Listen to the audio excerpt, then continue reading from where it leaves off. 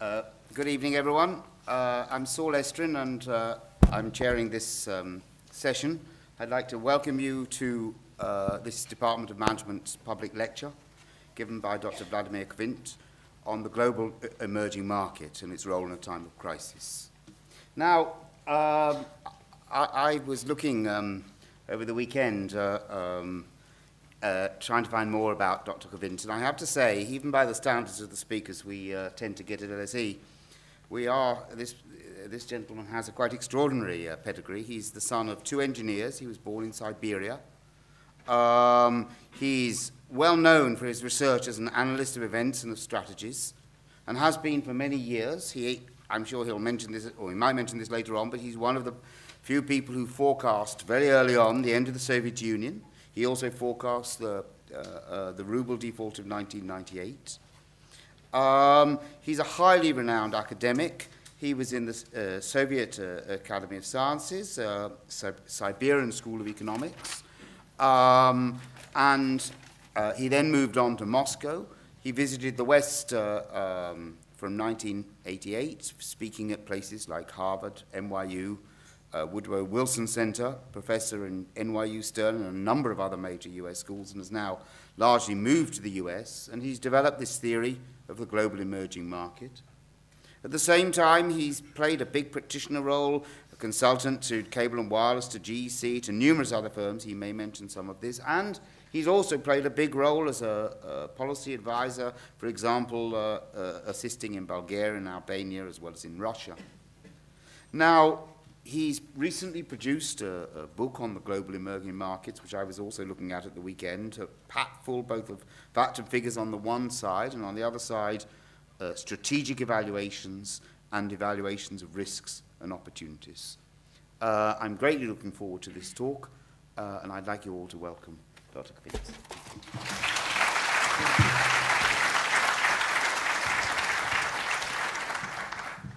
Thank you, Professor Estrin, for a wonderful introduction. It's my pleasure and privilege to speak in front of such a distinguished audience. If I'm speaking, if I'm loud enough, uh, I was given a lot of lectures in London and in Western Europe exactly 20 years ago.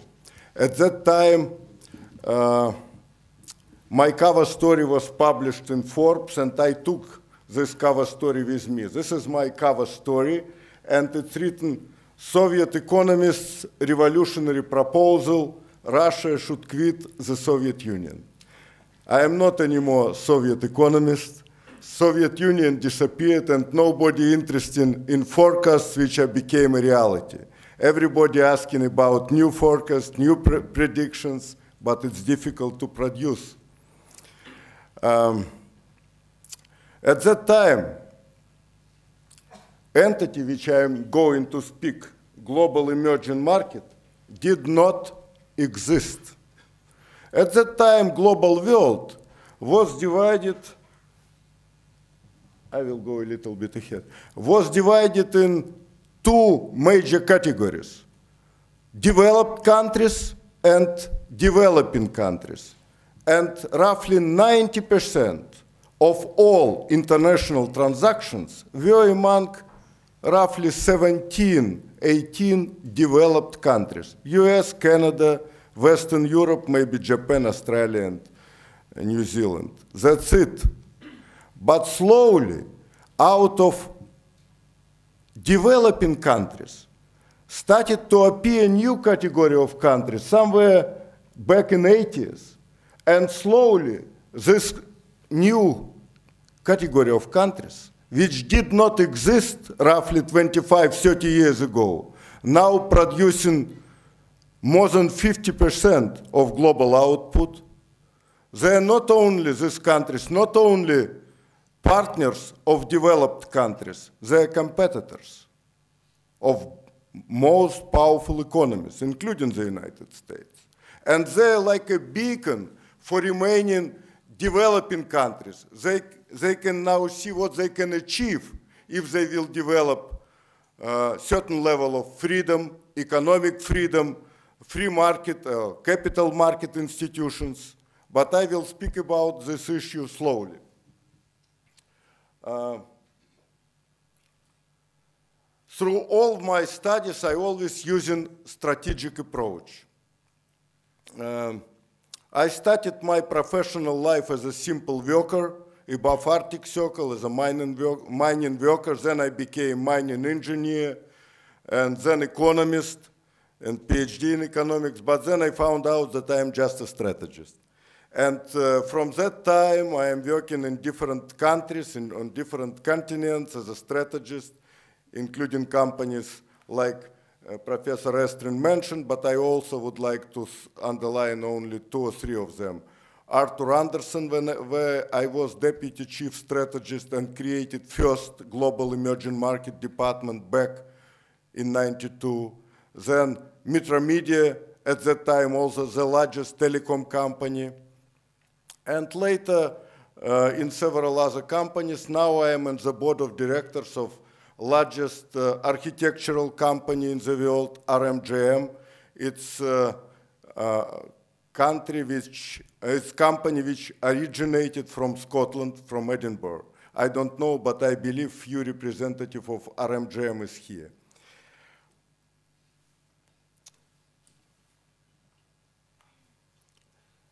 I would like to tell you a few words about global trends. You cannot make any predictions.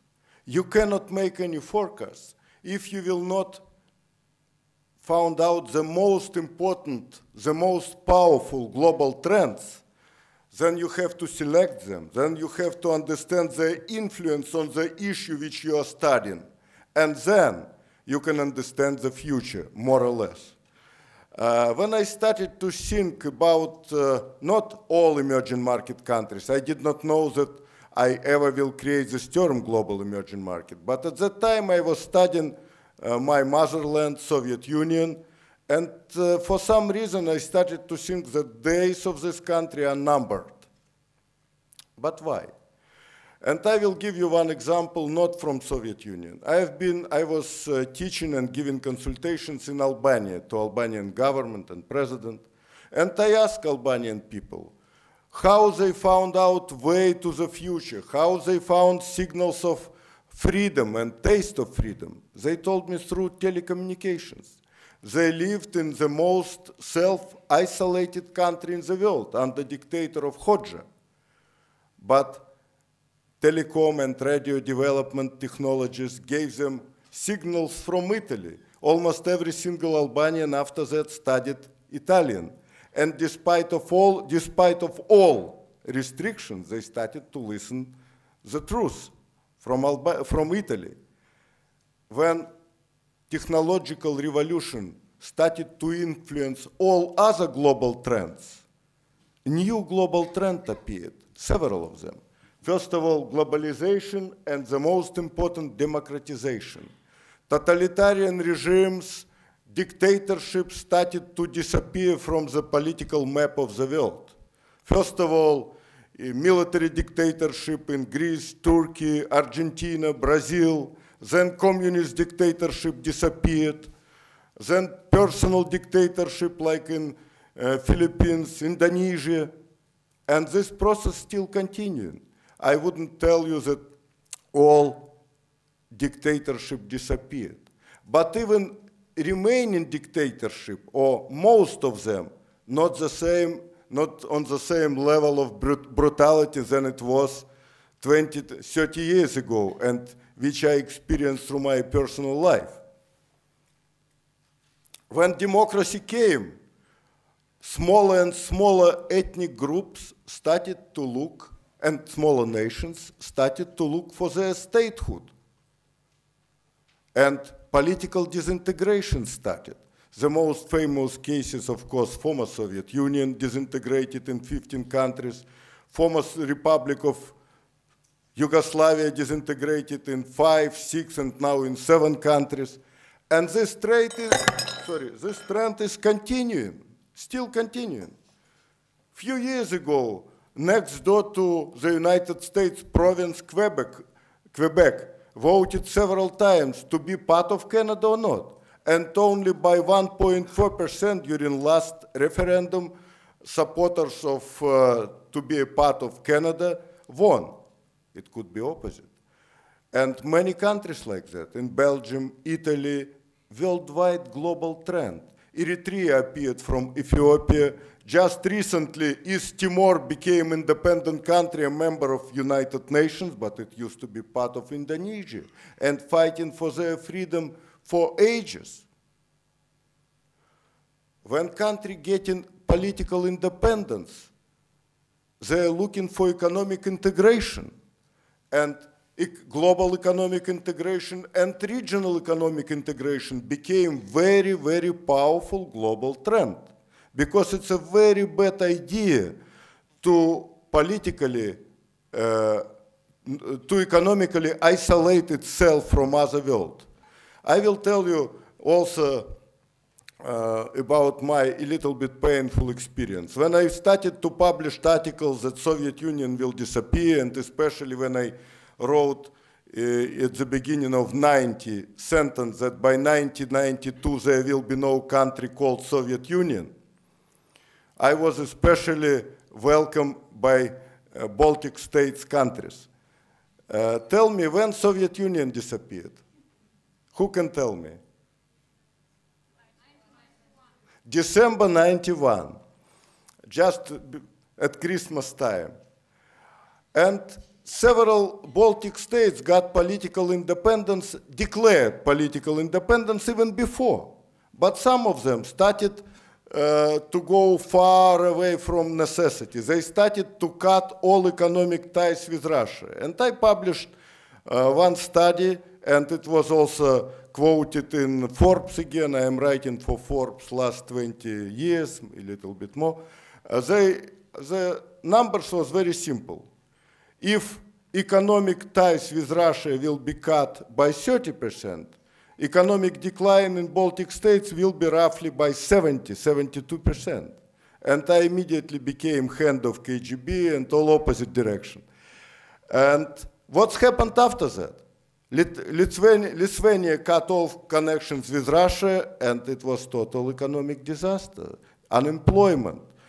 And then was politically democratic election of new president. And guess who won? Former secretary of Communist Party of Lithuania. How come? Simple. He declared political independence but economic integration and uh, people were very unhappy when economic integration was uh, disappearing from their day-to-day -day life. So it's pretty powerful trend. And if you can see it's global, European Union, of course, best example, but Mercosur, it's like a European Union of South Cone of South America, ASEAN in Asia, uh, ECOWAS, uh, many of, of them, Association of uh, Western African States, in every single continent, several regional economic blocks with a different level of economic integration, of course. Uh, when countries became politically independent, they found out, especially newly elected democratic leaders, that they are not only political leaders, they also owned a lot of property. In some dictatorship, up to 94% of national wealth will belong to state, not to private business. And global trend of privatization came on new level. By the way, this trend, privatization, started not in emerging market countries, not in developing countries, actually in England.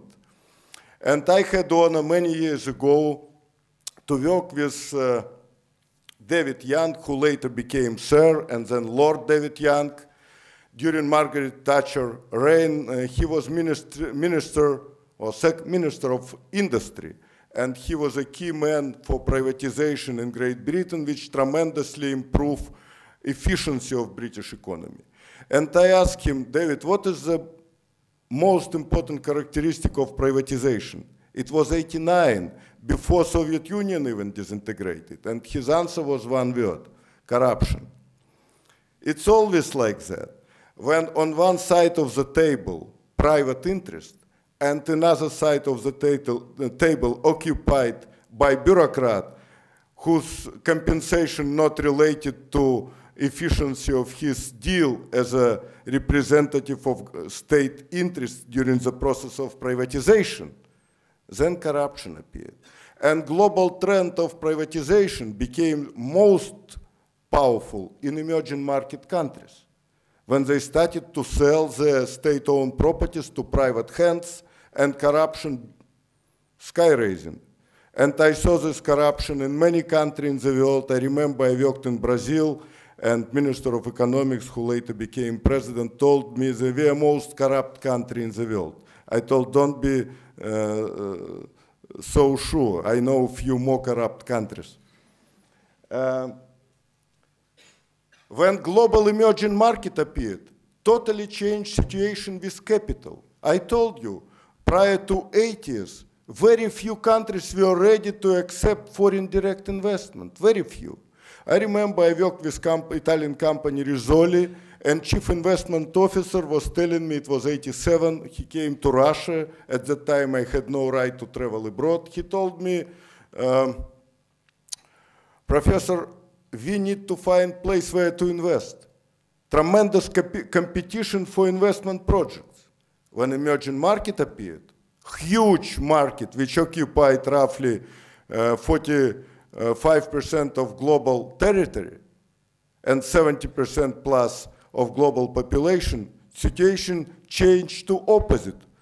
Lack of capital, shortage of investment, too many opportunities. And countries and companies started to compete for foreign direct investment.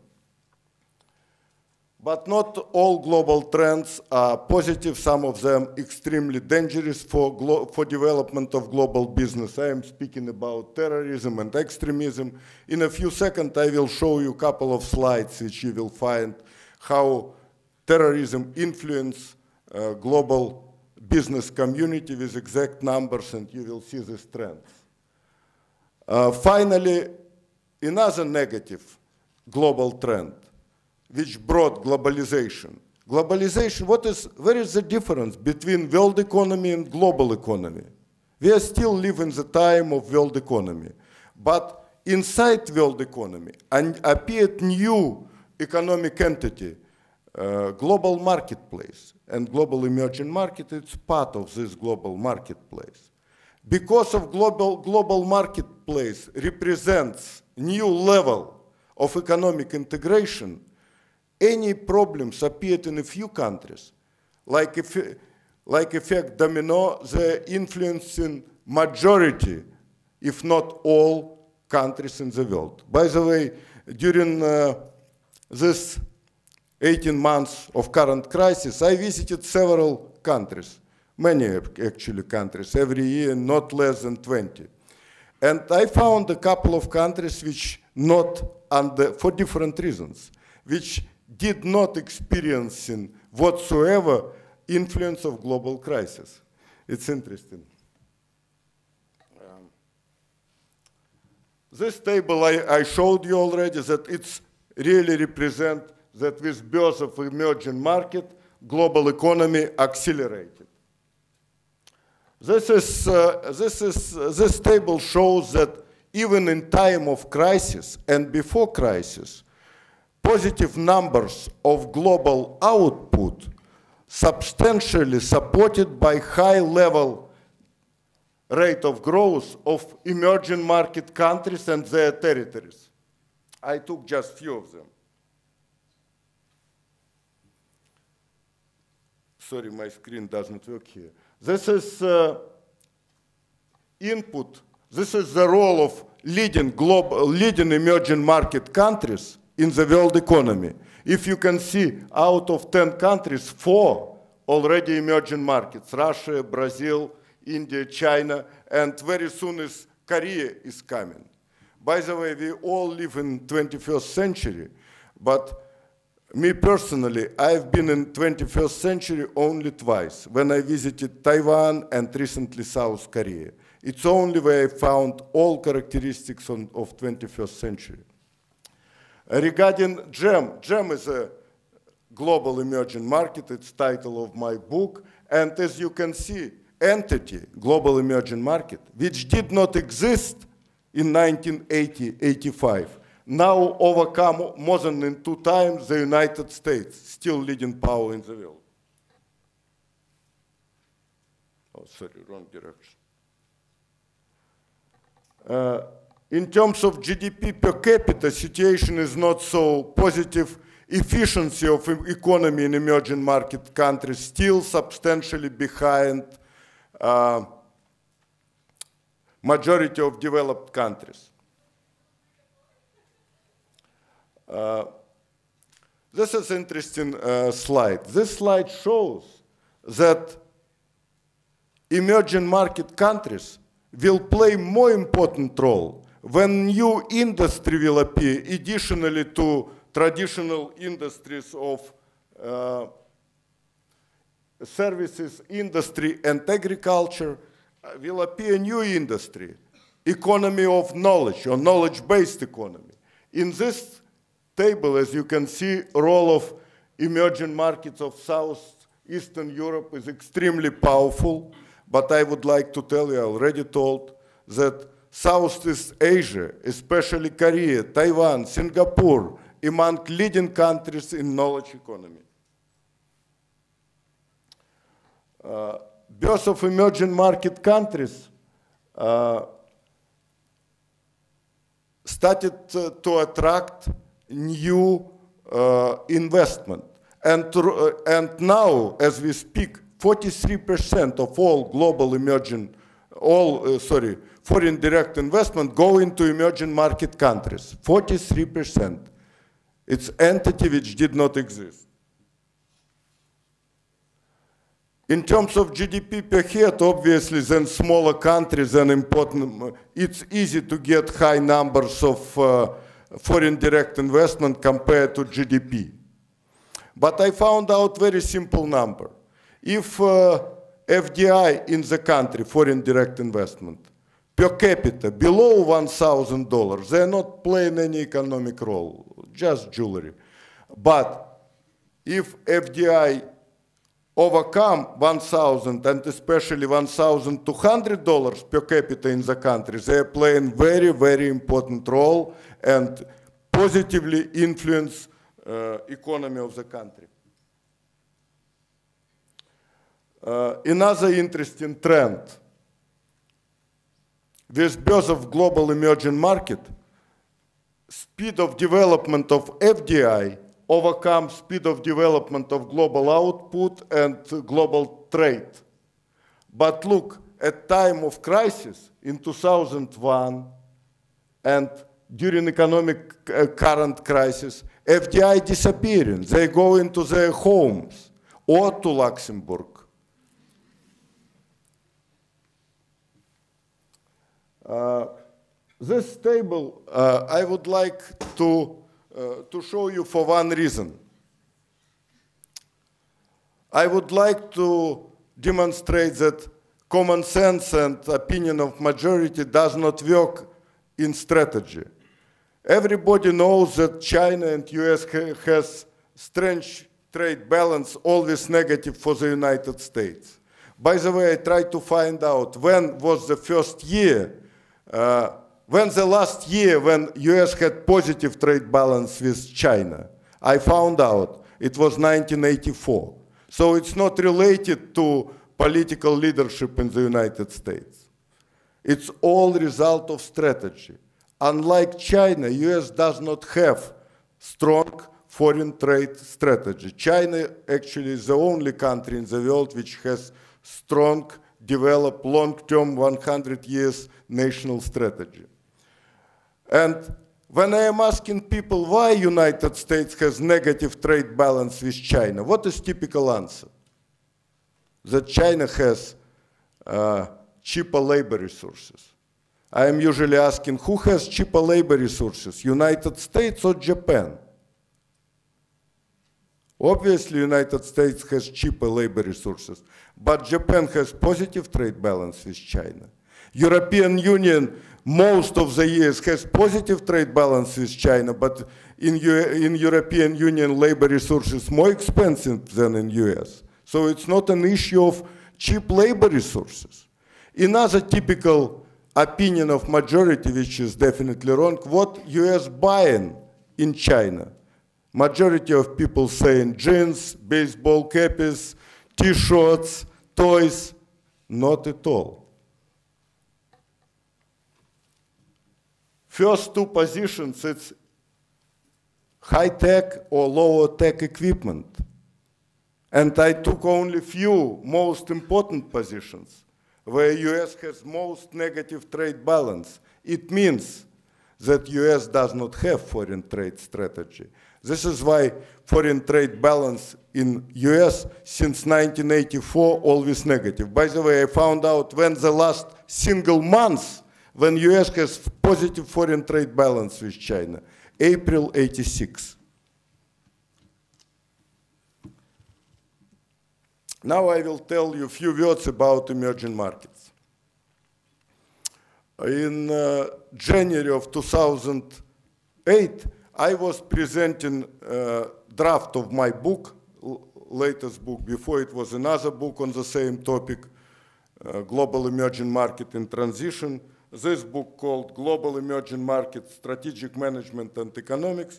When I was presented at uh, uh IMF, and in UN, by the way, this book I presented in Economic and Social Council of UN in February, on February 9th of this year.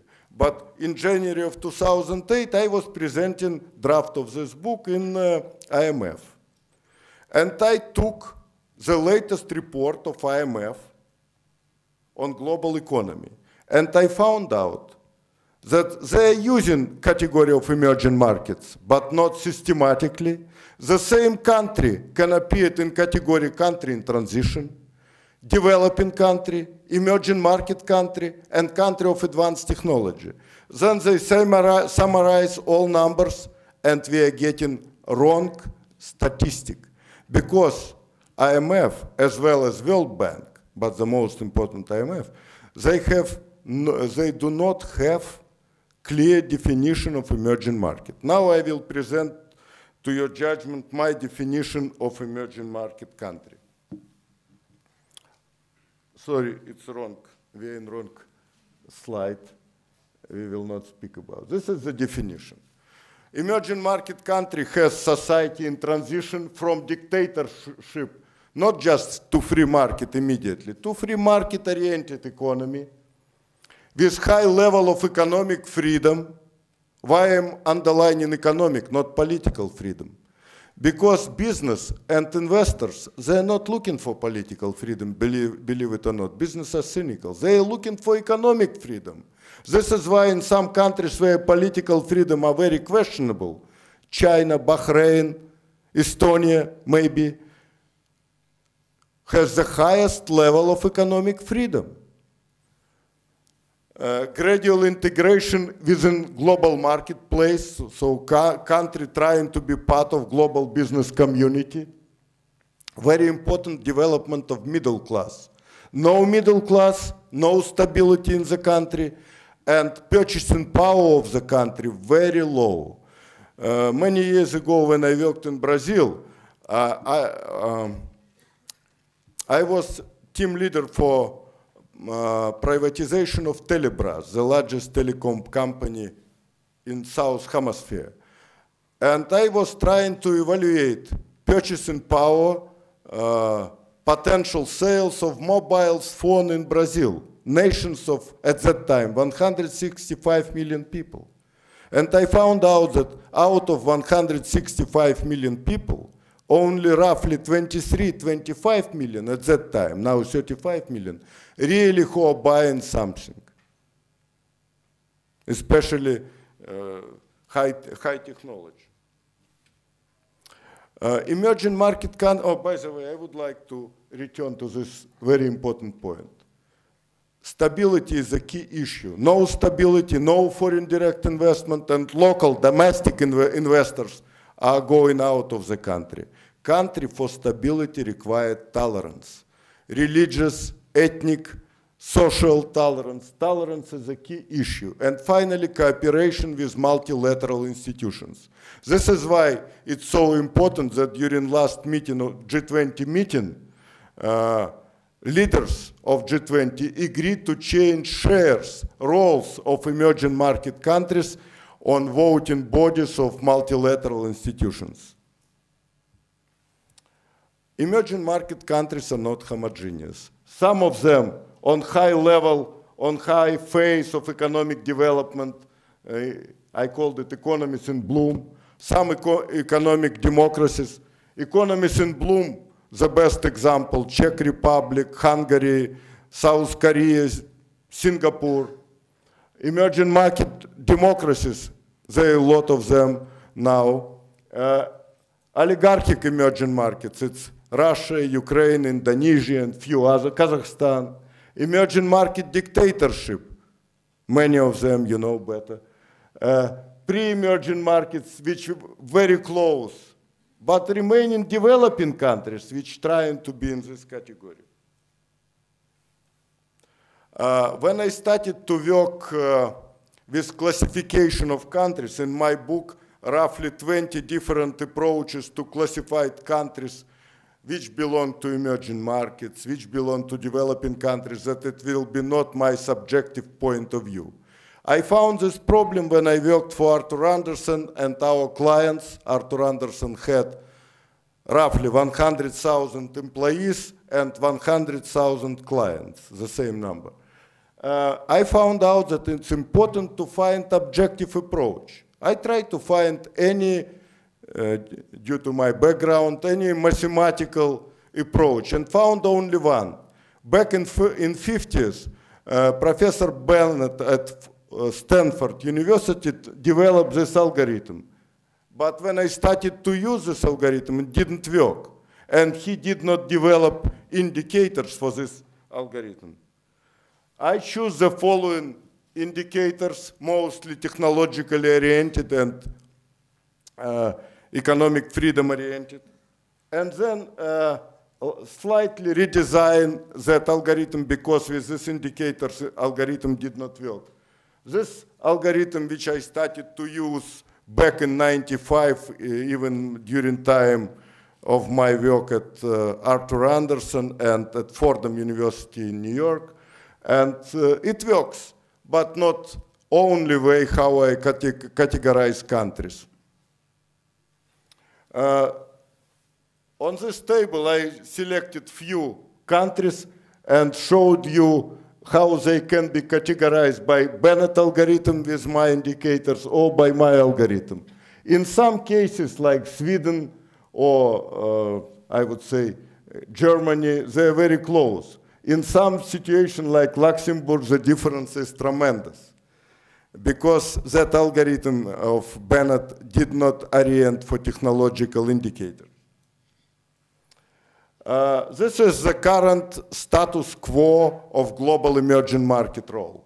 83 countries, according to my classif classification. Some authors have different opinion, but not substantially. I never saw categorization less than 50 countries in category of emerging markets.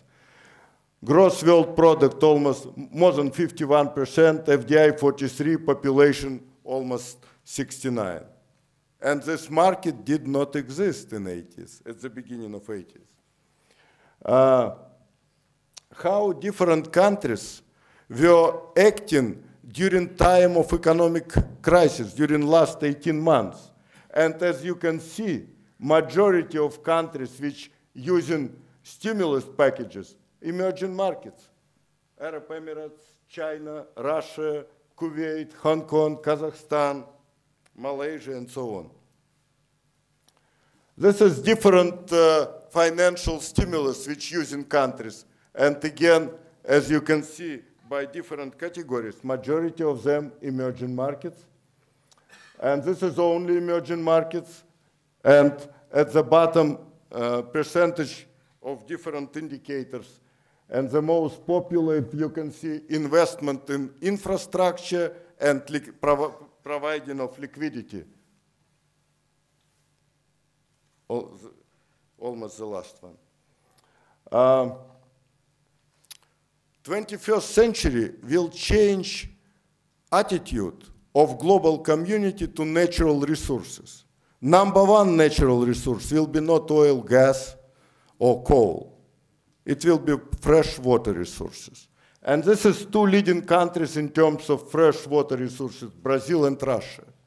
But even two these countries will experience tremendous problem during this century. Why? Because different allocation of industry, economic development, and water resources. And to build water pipeline, technologically even more difficult than to build oil pipelines or gas pipelines due to corrosion and many other issues. Uh, I wouldn't like to speak about this, uh, natural resources. Another interesting slide, it seems to me interesting. It's in common opinion that uh, emerging market countries have low level of education. It's not true. Statistics shows that in terms of people with university education, among top uh, five, uh, three emerging market countries.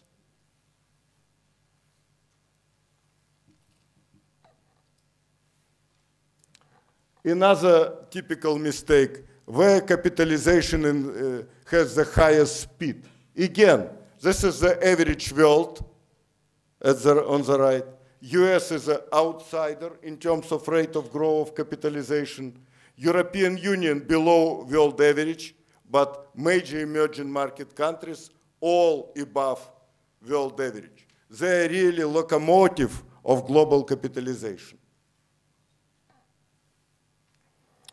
This is uh, shares in global marketplace in terms of capitalization and again, emerging market countries overcome European Union. It's easy to understand. Uh, you cannot find any European or American bank which did not develop yet their branches in emerging market countries, plus obviously population, 70% of population. This slide shows uh, why in some countries, in very few, during time of crisis, we are seeing not inflation, but deflation. And leading in deflation, uh, sorry, we are seeing uh, deflation, not, uh, we are seeing inflation, not deflation. And the leading on this is Russia. And as you can see, until recently, during year of elections, M2 cash practically in hands of people and in, on accounts, on bank accounts, tremendously increasing. It's empty money. Then after uh, end of year of election, it's decreasing, except after 2007. It's mostly related with huge amount of cash appeared in the countries. But Brazil showed opposite direction because it was uh, very difficult municipal elections and a lot of empty money were printed. This is a ch chart with uh, foreign currency reserves. As you can see, UK and US among outsiders. They don't need actually much of foreign currency reserves. They print in real money.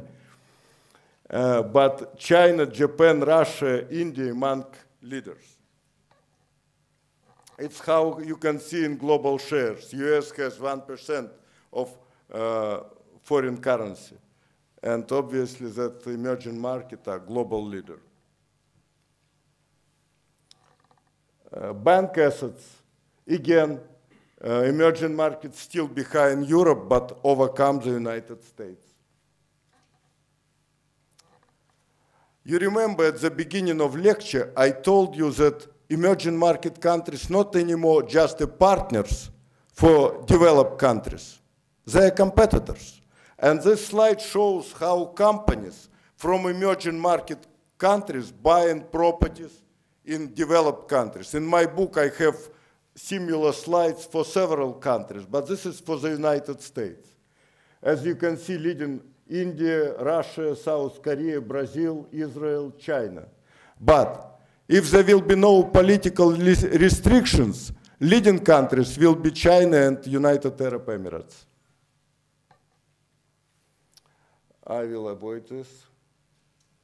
Uh, I would like to show this slide. This slide was developed by Nobel Prize in Economics, Simon Kuznets, who, by the way, oh, among very few economists who got uh, his economic education in Russia. To be exact, according current situation in Ukraine, he graduated in Kharkov University. And according to his study, Kuznets curve, initially, with increasing of standard of living, inequality in distribution of wealth is increasing and then decreasing symmetrically, but not in emerging market countries. And I try to, do, to use this curve for many countries, do not work. And then I found out the difference, corruption. In emerging market countries, corruption is so high and so influential that equilibrium of Kuznets does not work. This is global corruption. And as you can see, Africa obviously leading, and then poor countries and the higher corruption, mostly. And also then less then shorter democratic history in the country, of the country, then higher level of corruption. This is uh, overall how to do business. Where too easy, doing business easy. Russia uh, is not the worst one, as you can see, and uh, China not in good shape, even it's the biggest destination of foreign direct investment. So difficulties is not the main obstacle for foreign investors if they're looking, if they can smell high profit. It's uh, starting business. The easiest countries, Australia and Japan, and the most difficult.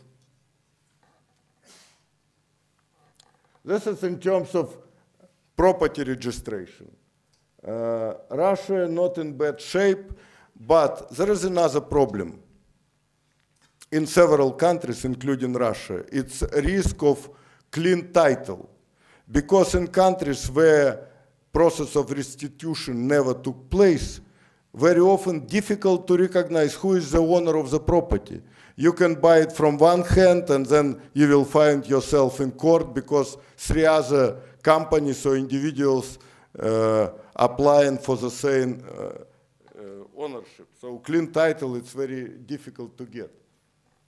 This cross-border trade, it's obvious that if country is not a member of WTO, it's more difficult to work with, and more restrictions, and more uh, custom duties, and so on and so far.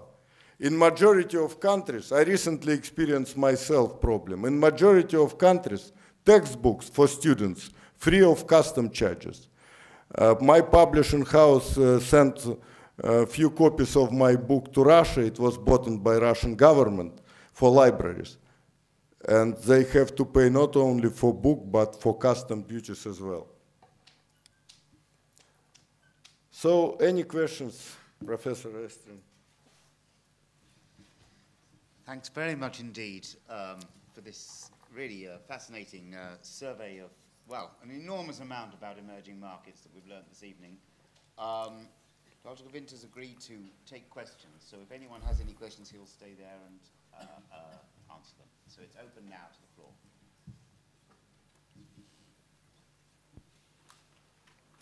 When no question, it's everything clear or everything unclear. um, Sergei Dvornikov, Russian by descent. I have a good question. Uh, you, this was like a global emerging market uh, presentation. I don't see where you. You, you spoke a ah, lot okay. about uh, Russia specifically.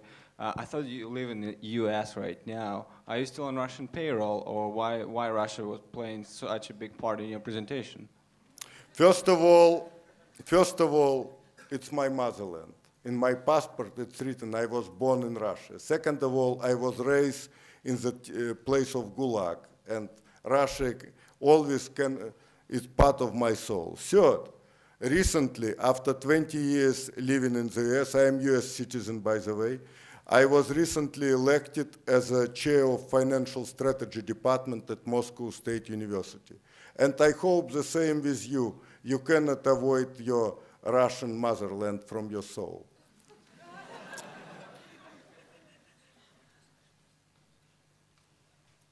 yes? Okay, it's up to you. Yeah. Thanks very much. Tendik Tunestanov, I was formerly a researcher here. Uh, your definition of emerging markets, which is fascinating, uh, is mainly based on processes, increasing middle class, growing social stability. Uh, however, it lacks a, I a- lost a it. conventionally important characteristic of those processes, which is sustainability.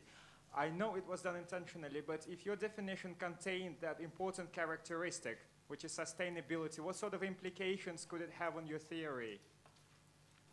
In my book, there is a list of 45 major characteristics of country. If you would like to be strict, not just to get information from lecture, you can look on this list. It's 45 characteristics.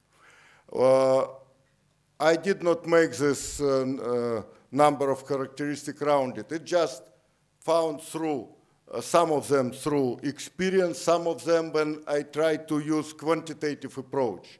I did not present quantitative approach because I already found out that a couple of people uh, left to sleep, so I decided to not use mathematical approach. But major issue that it's country in dynamic. They quite recently did not exist on global business map.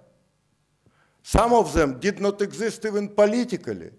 Several countries never had political independence. They're going through tremendous transformation politically, economically, their business, and even their ethnic identification. This is why first characteristic is country in transition. Um, yeah. Hi. Uh. You spoke a lot about China and its rise. You touched on its 100 year plan and its uh, high quality manufacturing. Uh, there seems to be a common consensus now that this is China's century and so on and so forth. What challenges do you see toward China specifically that could stop them from rising? What could hurt them? First of all, I disagree that it's century of China. My opinion, it's century of Latin America. The most interesting dynamics we will find in Latin America. It's maybe out of political loop. There is no any uh, great uh, processes over there except few countries which choose to go to left from right. But in general, it's continent which gives tremendous opportunities, much higher level of tolerance, much higher level of development of capital market institutions. But China will be a global player, will be among global leaders. Very soon, in a matter of 15 years, uh, United States will be second in terms of global indicators. But I don't see in any foreseeable future that China can overcome leading countries, even United Kingdom, in terms of GDP per head. Majority of Chinese population live in total, total poverty. Tremendous progress in major cities. I am quite often in China. I finished recently one uh, consulting project in mainland China. I worked few years uh, as an advisor for leader of Taiwan, so I know that part of the world more or less. And I have to tell you that major issue of that part of the world will be political freedom. And time for, the, for this political freedom is not come yet.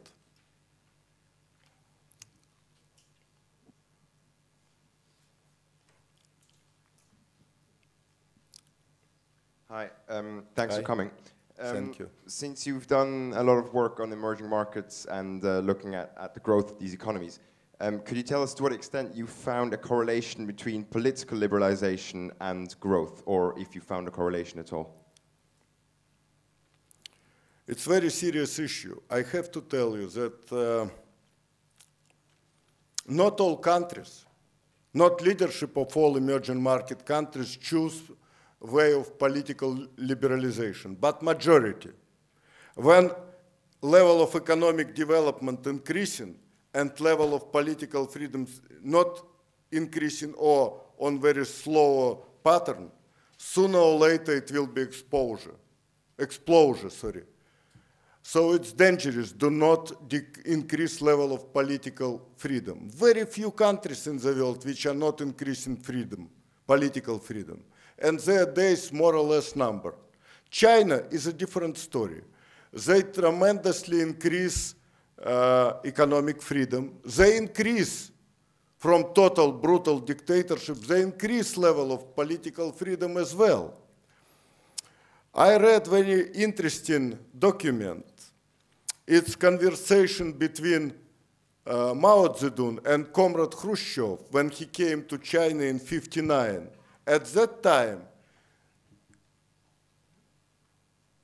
Comrade Mao Zedong introduced to Comrade Khrushchev, very young, 26, I guess, years old, Deng Xiaoping. At that time, Deng Xiaoping already had ideas about economic strategy, and his point of view was, doesn't matter which color of cat, uh, if uh, she is still uh, able to buy, to get mice. So the point is that China choose keep their political goals, communist ideas, but increase level of uh, development of free market institutions. This is why days of communist system is in China will prolong.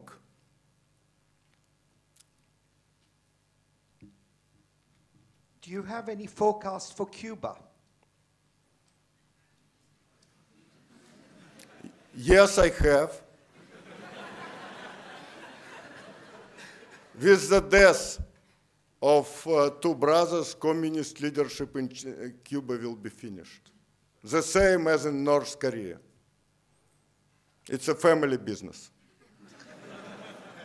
Yes, we finally got a question from down below. These guys have been uh, carrying all the weight, so let's go down here for a little bit. Yeah. Um, you mentioned how um, you feel that China's most of China's population is in absolute poverty. Sorry, where are you? Uh, uh, okay, I did not get your question. Can you repeat, please? Um, you mentioned how you feel that uh, most of China's population is in absolute poverty. Um, what do you think it would take to alleviate that poverty in emerging market countries like China and India? It's a two very different country. China, unlike China, India has high level of political freedom. It's the biggest democracy in the world, it's common opinion. But in China first, it's important to liberalize, liberalize agricultural population, peasants. When you're going out of the city, when you're traveling through Chinese villages, you see, you see Stone Age time, people in cold water. I've been there, for example, in April. Cold water, people staying on the rice fields uh, until their knees in this cold water for days. And they're using only mules. That's it. But when you go into the cities, you see progress, tremendous progress, great changes. But majority of population s- still live in agricultural areas, in rural areas without passports. They are not allowed to travel to the cities. I saw one guy who tried to go to re- railroad station in Shenyang. It's to the north of Beijing, and he was beaten up by policemen. I asked why he is beaten up. He has no right to go to railroad station without special permission. The same if you are trying to go without special permission from mainland China to Hong Kong. Uh, lady at the back. Wait, hang on, wait, for a mic so everyone can hear. Uh, I know that there's been some debate over whether India will surpass China as a global power. Um, do you have an opinion on that? Uh, I have answer for this. Uh, 20 years ago, I was giving lecture at uh, Free Brussels University. And uh, after that, I was invited to town hall, but I came too early. And I went behind town hall, and I found small statute, uh, worker with shuffle. And it's written, written two words under this monument, freedom works. Because India is a real freedom. India chose very wrong economic model after communist Soviet Union, and they only started to develop uh, free market institutions. They started to be less iso- self-isolated only in 1994. So they, they lost uh, roughly uh, 20 years of economic reforms. China started its economic reforms roughly in 1976. So I have very positive opinion about Indian uh, future. In terms of population, India uh, overcome China roughly in 19, uh, sorry, in 2020, and productivity of labor in, in, in India already higher. GDP still is behind, but productivity on companies already higher. And look how resilient was Indian economy during current crisis, because India positioning itself and developing itself as a global place for technological and high-tech and software outsourcing. This is why during time of crisis, India showed rate of growth 5.7, 5.5, 5.7 percent. This uh, lady right in the middle there, if someone can get a mic.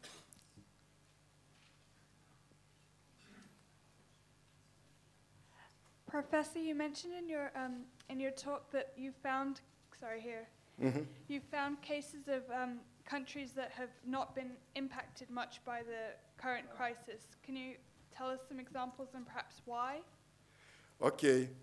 Uh, one country which is in best shape, it's Turkmenistan. Uh, look, it's 7 million people.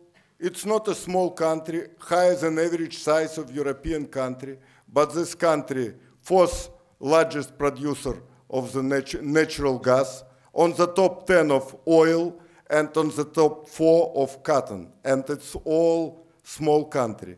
And this country recently started, it used to be a very tough dictatorship. Now a new dictator came. He is a dictator, but different one. I met with him, very different one. I will tell you, one of his first decree was, if anybody will prohibit development of internet in high school, will immediately fired and he established criminal law for uh, creating barriers for internet development. He rebuilt uh, high, 10 years of high school education. He rebuilt National Academy of Sciences and he's sending his students abroad. I have been in apartment of simple people in Turkmenistan. I would like to live apartment uh, in an apartment like that. Four meters tall ceiling, beautiful, and they, and everybody can get it because he is giving good uh, loans, very cheap loans. Why? Too much natural resources. But it's still dictatorship. Another country which much less experiencing difficulties during last crisis, it's Turkey. Why? What was called Asian crisis started in 1997 in Malaysia, Thailand. It was in fact first global economic crisis. It started in 97 in, in Asia, then it went through Middle East, uh, destroyed Russian ruble in 98, and eventually in finished in December 2001 uh, when uh, Brazilian peso and uh, sorry Brazilian uh, real and Argentinian peso was destroyed. It was global crisis. During that crisis, Turkey experiencing very difficult time. 50 banks were closed, and Turkish leadership, very experienced Turkish government, got a lesson, and they were much better prepared to current crisis. Unlike Turkmenistan, they experiencing problem, but much less than neighboring countries, much less than United Kingdom, for example.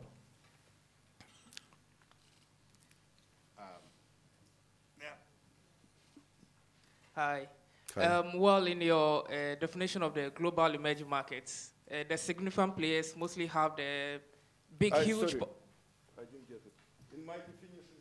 Of uh, global emerging markets. Um, the huge significant players uh, had uh, quite significant, uh, big populations. You're talking of Russia, you're talking of China, India. They're quite big. What of country? Do you see any other emerging markets which is also quite a significant player without uh, huge populations? I am speaking about every single country from uh, tiny countries as well. Uh, for example, on this list, a lot of small countries, if you ever heard St. Lucia, for example, or uh, not very big country, Georgia, and uh, many other countries. It doesn't matter actually, size of population, it doesn't matter. Only one reason. If you, I don't know where is this, if you have good relationship with global community, if country is developing free market institution, it's easy to be closer to prosperity in smaller countries. Small countries can get help. Who can help China? Nobody, it's too big. But in fact, uh, I was criticized IMF back in 2008 that biggest recipient of money from IMF is China because by their definition is still underdeveloped country. But I guess now they're changing it because it's outdated classification. But small, a lot of small nations in uh, Latin America, in Africa, in Asia, they're already emerging markets, but they're quite different. For example, I will give you example. Two more or less countries with the same size, of the same size, Uruguay and Paraguay. Uruguay is an emerging market. Head center capital of uh, Montevideo is the capital of Mercosur. Paraguay is part of Mercosur, but Paraguay is still developing countries and uh, by many characteristics still underdeveloped. Why, you can ask me why Paraguay is part of Mercosur. Very simple, uh, because people are clever who created Mercosur. If country, if bloc, regional bloc, has underdeveloped countries, uh, this bloc allowed for protectionist measures. This is why European Union are not allowed, but Mercosur is allowed to make protectionist measures because of membership of Paraguay in Mercosur. Thank you. You're welcome. Um, this lady in the front row here.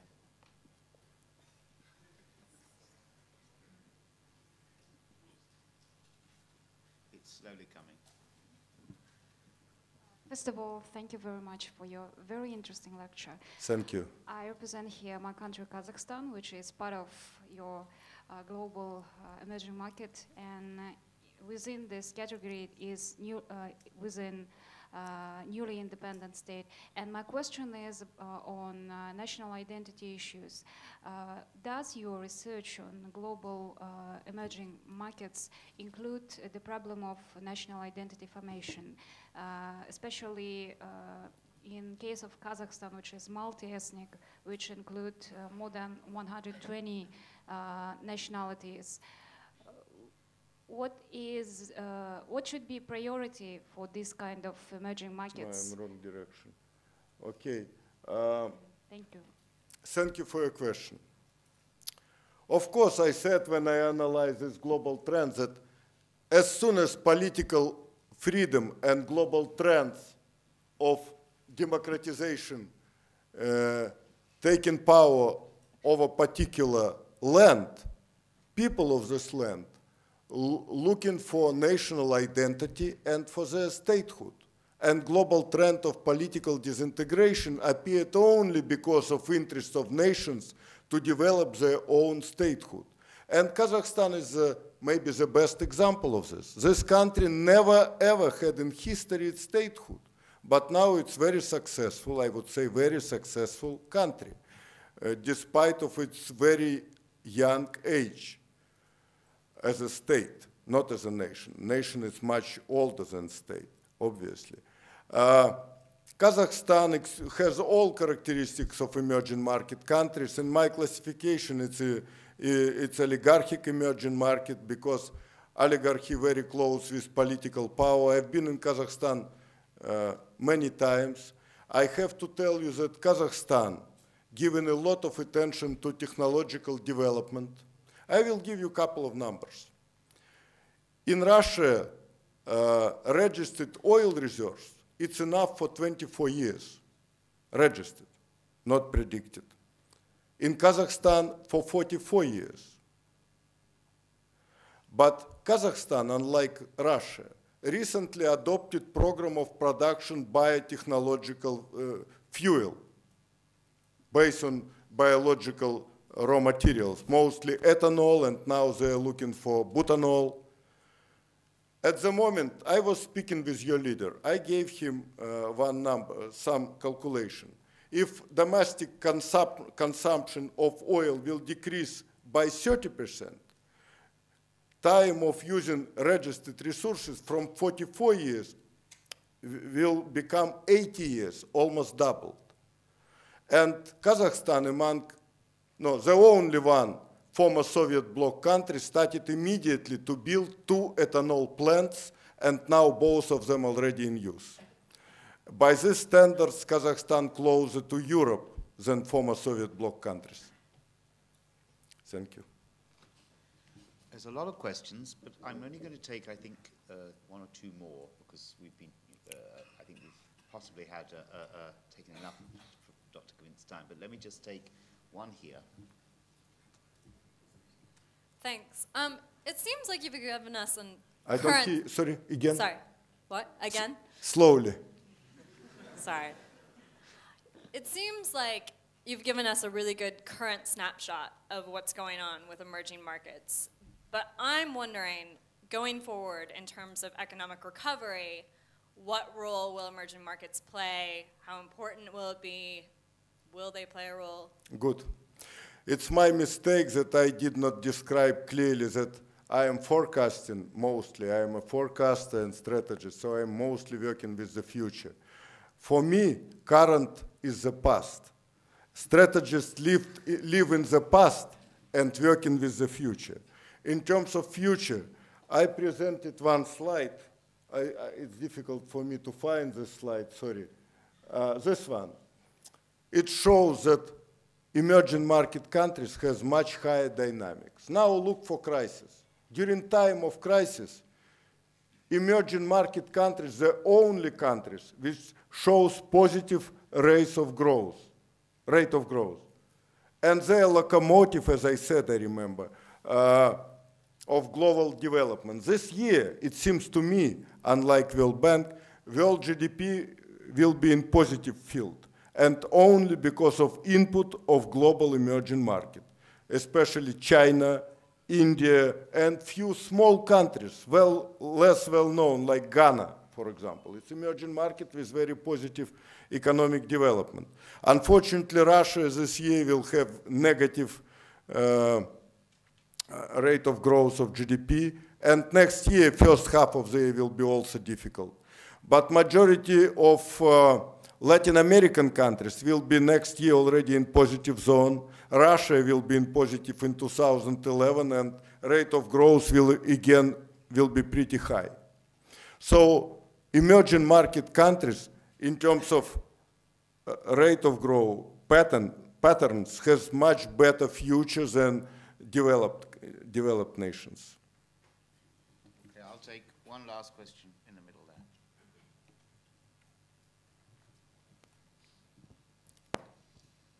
Um, Professor, I'm interested by your influential trends uh, slide and how that applies to Europe. Because in Europe, there has been regional economic integration, but there seems also to be, rather than devolution, political integration. Do you see that as a trend that will continue, and is that the only way that Europe will retain its economic position that it has now? Uh, I am professional in emerging markets. Nonetheless, many, many years ago when several scholars disputing creation of euro, at that time it, this currency had different name, as you remember maybe, uh, we are disputing political integration. And uh, I would like to be politically correct, but my opinion that economic integration is more important for developed world than creation of extra uh, body which people of the nations cannot directly influence. It's what I can answer. You know, I read one book, I will tell you, it was written by one of the first Nobel laureates in economics. Despite of all the respect to this person, I disagree with his book because he was uh, discussing creation of global government. It seems to me it's a very dangerous idea. I think on that note, um, on behalf of us all, I'd, I'd like to thank uh, Dr. Govinda. This has been a fascinating. Uh, Thank you. Thank you. Thank you very much. Thank you.